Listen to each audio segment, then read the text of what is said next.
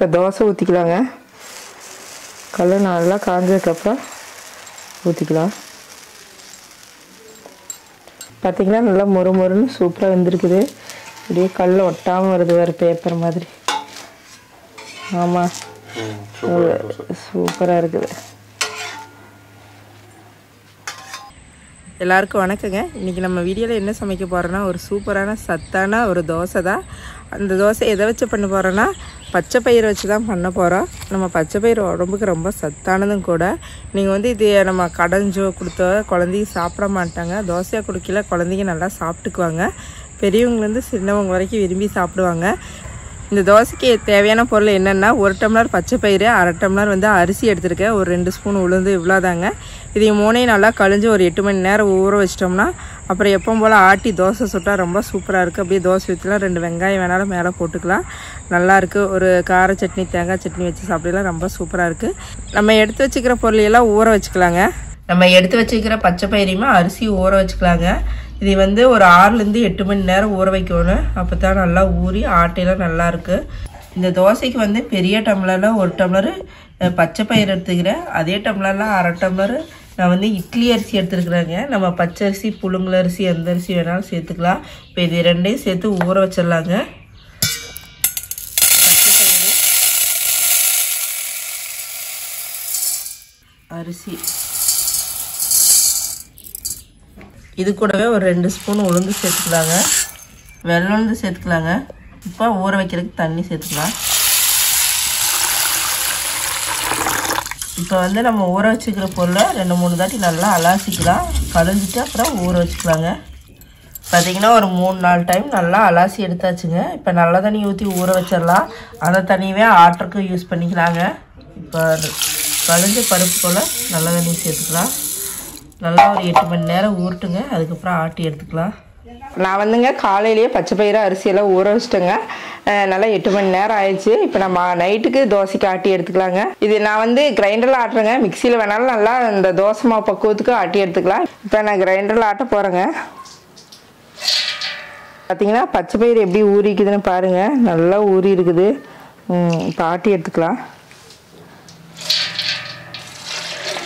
பார்த்தீங்கன்னா கிரைண்டரில் ஆட்டுறதுனால நான் ஊற வச்சுக்கிற எல்லாத்தையுமே ஒட்டுக்கா போட்டு ஆட்டிக்கிறேன். மிக்சிலேயே இருந்தால் நீங்கள் பாதி பாதியாக போட்டு அரைச்சி எடுத்துக்கோங்க. இப்போ நல்லா தோசைமா பக்குவத்துக்கு நல்லா ஆட்டி எடுத்துக்கலாம். அப்பப்போ தண்ணி தேவைப்பட்டால் தொளிச்சுக்கலாங்க. நம்ம உளுந்து ஆட்டின எப்படி நுரைச்சி வருமோ அதே மாதிரி நல்லா நுரைச்சி வருங்க.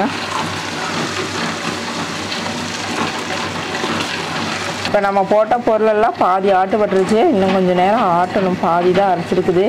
இதே பார்த்திங்கன்னா உளுந்து மாதிரி எப்படி பஃப்னு வந்திருக்குதுன்னு பாருங்க.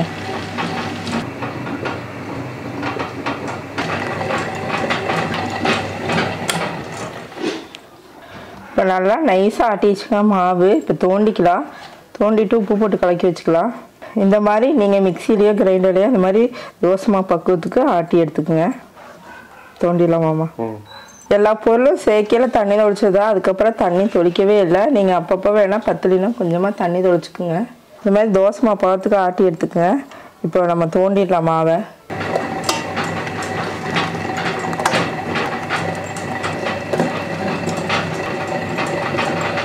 இப்போ மாவை நல்லா ஆட்டியாச்சுங்க.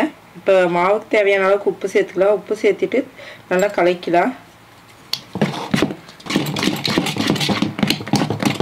இப்போ மாவாட்டி புளிக்க வைக்கவெல்லாம் தேவையில்லைங்க. அரைச்சோன்னே ஊற்றிக்கலாம் இப்போ வந்து உப்பு போட்டு கலக்கி வச்ச மாவு. இப்போ தோசை ஊற்றிடலாங்க நான் பேசுறது புரியுதா மாமா?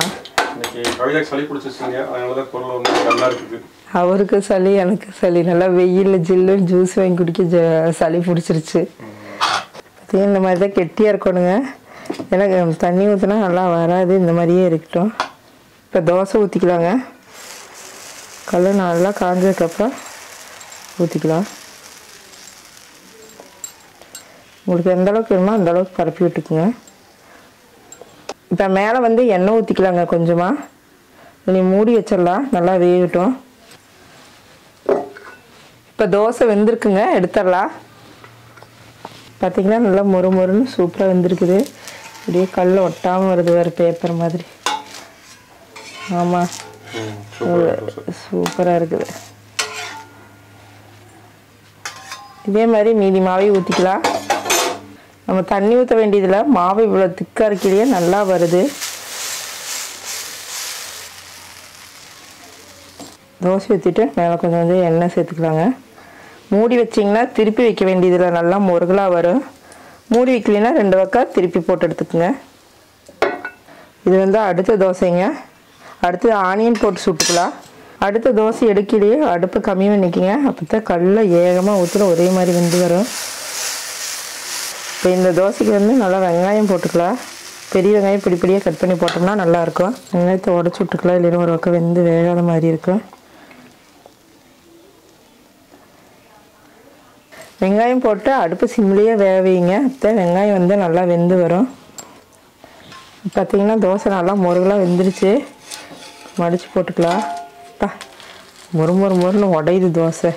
நல்லா மொறியுது மாமா தோசை. இப்போ ஆனியன் சூப்பரான ஆனியன் தோசை ரெடி ஆயிடுச்சுங்க. இப்போ சூப்பராக பச்சை பயிர் தோசை பச்சை பயிரில் ஆனியன் தோசையுமே கார சட்னியும் ரெடி ஆயிடுச்சுங்க. இப்போ டேஸ்ட் பார்த்துடலாம். ஹரிதா பசிக்குது பசிக்குதுண்ணா ஒரு வெங்காய தோசை ஒரு தோசை சட்னி. இப்போ ஆறிடுச்சு. நம்ம சுட சுட அப்படியே ஒரு இந்த தோசை எப்படின்னா மாமா ஒரு தோசை வட்டலில் இருக்கணும் ஒரு தோசை அடுப்பில் இருக்கணும். அப்படி சாப்பிட்டா ரொம்ப சூப்பராக இருக்குது ஹரி எப்படி இருக்குது? கார சட்னிக்கும் தோசைக்கும் ரொம்ப டேஸ்ட்டாக இருக்குது மாமா. இது பார்த்தீங்கன்னா ஆனியன் தோசை. இந்த ஆனியன் தோசையோட சாப்பிட்டா இன்னும் சூப்பராக இருக்குது மாமா வெறும் தோசையை விட அந்த ஆனியன் நல்லா வெந்து அந்த சட்னிக்கும் அந்த ஆனியனோட டேஸ்ட்டுக்கும் ரொம்ப சூப்பராக இருக்குது. இது நல்ல ஒரு ஹெல்த்தான தோசை. டயட்டில் இருக்கிறவங்க கூட இதை ஃபாலோ பண்ணலாமாம்மா இல்லை ரொம்ப ஃபுட்டு ஹெவியாக எடுத்துக்கணும்னா ஒரு ரெண்டு தோசை சாப்பிட்டாங்க கூட போதும். அவங்களுக்கு நல்லா ஸ்ட்ரென்த்தாகவும் இருக்கும் நல்லா ஆரோக்கியமானதும் கூட. பார்த்திங்கன்னா ஹரியே பார்த்திங்கன்னா நல்லா சாப்பிட்றான். நல்லா வெங்காயம் ஊற்றி குடிக்கல நல்லா டேஸ்ட்டாக இருக்கும். குழந்தைகளுக்கு பொடியோ இந்த மாதிரி வெங்காயமெல்லாம் மேலே போட்டு குடிக்கல. ரொம்ப சூப்பராக இருக்குது உங்கள் குழந்தையெல்லாம் நல்லா விருப்பப்பட்டு சாப்பிடுவாங்க. இந்த ஹெல்த்தியான பச்சை பயிர் தோசை பிடிச்சிருந்தா நீங்களும் ட்ரை பண்ணி பார்த்துட்டு எப்படி இருக்குதுன்னு சொல்லுங்கள் தேங்க்யூங்க ஹரி சட்னிக்கும் தோசைக்கும் எப்படி இருக்குது? ஆகு. ஆ சூப்பர் மாமா.